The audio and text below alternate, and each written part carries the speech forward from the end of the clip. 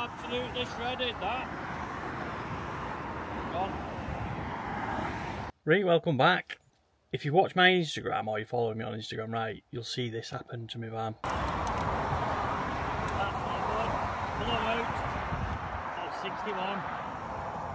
Alloys knackered. and it was an absolute disaster. And it ended up costing me something like 400 odd quid.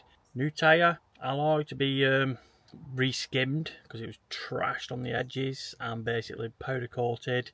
And I also had, rookie mistake here, the wrong socket because the original nuts, I think, on this were a 19 on it, which is like the spur socket where you're getting your pack down there. New alloys, 17s. I didn't have one, so we had to have a call out with the uh, AA. Embarrassing, but you learn. So hopefully you learn from that. Make sure you got right sockets in your van. Anyway, so for that reason alone, I've ordered this. Now I've got it on Amazon, and it's basically a tyre pressure monitoring system. So in the box, you get your usual instructions, right? But this version, right, it's got a little monitor, a little tiny screen, and on the back of it, it's a USB-C chargeable. It's charge up initially when you first use it, but it's got a solar panel on the back. So basically, that screen will mount to the dash or somewhere where you want it in order to keep in view, and it should give me a readout on what the wheel tyre pressures are. And the reason why I'm doing that is, if I'd have had a warning on the motorway that one of my tyres was deflating quick, I could have reacted a lot quicker if that alarm had gone off.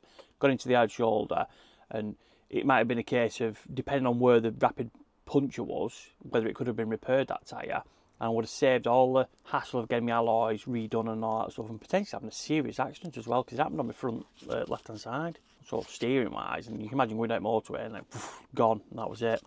So basically, this kit comes with four tyre pressure sensors, right? Now, I have no idea how this is going to work out, whether it's going to be one of them rubbish projects, what you put on and it just doesn't work, going off all the time. But we've got you've got to try these things, and, and anything what adds safety is a bonus, really. So they're, they're lettered up, rear right, rear left, and all that stuff, and they basically just screw on to your valves on your tyres and that, and then you sync it up with the little monitor. So what I'm going to do now is fire the old compressor up. I'm going to get all the tyres set to one pressure all the way through. Now here's another one as well with tyre pressures. What do people use on the the vans with um, BFG um, KO2s on it? Now bearing in mind, mine are a 75 profile, not a 65. And there's a lot of vans with the 65 profile, but mine's a 75 profile because get more weight loading on it. Um, leave in comments down below what pressures you run at. Now originally when I had the blowout, I was running at 60 psi on all the tyres, and it was quite stiff as well. Now, I wouldn't have thought that would have led to the tyre walls getting warm and having a blowout on that, but I don't know. I don't, it could have been a pothole or just I've hit something on the road. But this time, I've run them all at 55 all the way around just to take that harshness out of the tyre. Now, it does stay at 80, 80 psi, like maximum psi on the tyres. Now, if you run these tyres, you have these tyres on your van, and you put 80 psi in these, they are like bricks, and it's just unbearable. So I think an happy medium I've found is 55 psi. I mean, leave it comments if you think it's a bad idea running them that low, or you think it should be a bit higher or a bit lower. Some bit I don't I don't know what other people are running them at. So just leave it in comments anyway. So we'll get the compressor fired up, get them all up 55 psi, and then we'll mount our monitor. I'll stick this in window now while I'm faffing so it'll get a charge on it, and then um, we'll set them up and we'll see how good this is. And what I'll do as a little test, I'll just let a bit of air out. Right. So we'll check this back one first. So this back passenger rear, or near side rear, you want to call it. Let's see what pressure this one comes in at. Right, so on that one there, so that's 55. So rear left. These just screw on. They probably get nicked like, but you never know, do you? Right, so I've not put it on whack tight. Keep your caps. Probably should have cleaned these first. Right, so that one's on. We'll go around and do the rest. See you in a moment. Now this comes with a little bracket and the bracket basically goes over where the solar panel section is, and you just slide it down to it, lock it in place, and then it's got two sticky tabs on the back there. So ideally, it'd look good, probably up here or something. But because you need the solar panel side of it, it's going to have to go somewhere where you can see it, but it's not intrusive. So I might stick it up here somewhere. I might have a modification coming for that soon. So if I do put it there, it's going to be a temporary placement, should I say. But we'll get it in anyway. We've all dangled out away, and then we have the monitor. So next step is destructions. And we need to see how we pair this together. Now it says at the factory that each tyre monitor is paired straight away. So got three buttons on top. You've got your left button, which is your power, M button and right button. Right, let's switch it on, see what it looks like.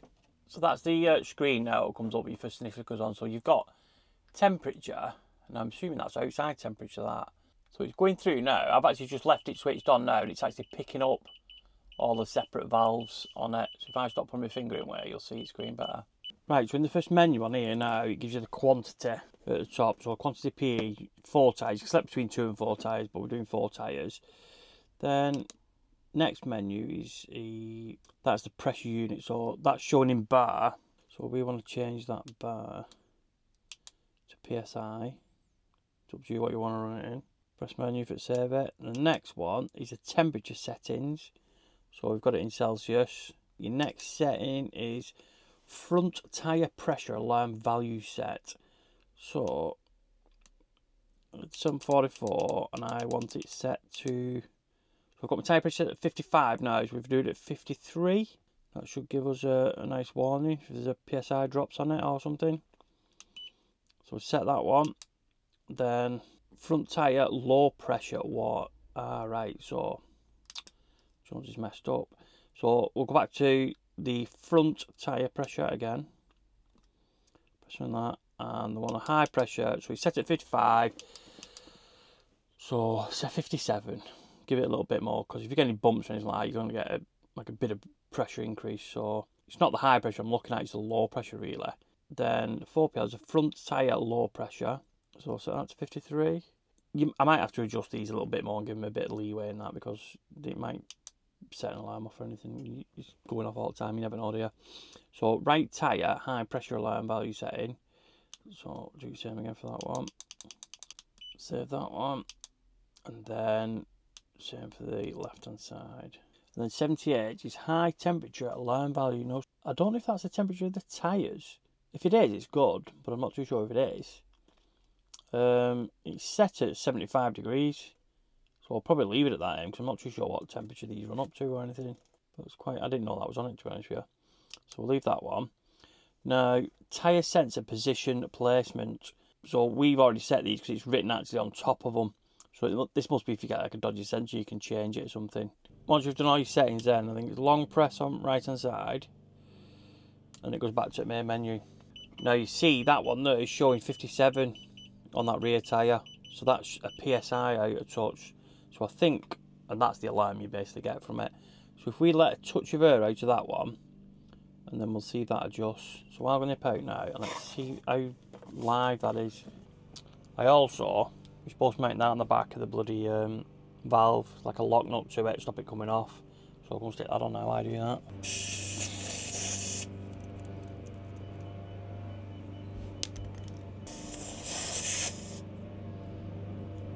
There we go, 56. So I actually took that pressure, that, that valve off then to put that lock nut on. And it give you a warning straight away, which is quite good. And that, that's what I'm looking for. The minute pressure drops and that starts beeping, you know, you get yourself to a place of safety. I'll just check the tyres and make sure it's not a dodgy sensor. Also, I forgot to show you as well. In each tyre sensor, right, you've got a little battery in them. Uh, CR1632 battery on it. So to be fair, right, that's not a bad little kit that, and it does work straight away. As soon as I release them caps, it was like beep beep beep beep in the alarm, and it's not like a massive piercing noise as well. Do you know what I mean? And it's got an auto shut off. It's just shut off now. I got that from um, Amazon. I think it was 28 quid, but there's they're running a promotion on now as well, so it's 10% off that as well. So it's a couple of quid savings there on it, and it's called tyre pressure monitoring system.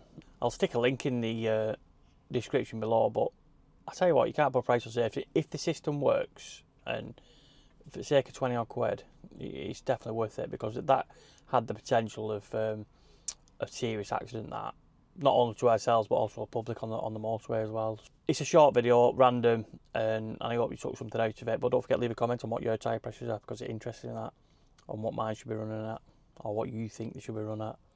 Right. See you on next mod. Back step next time.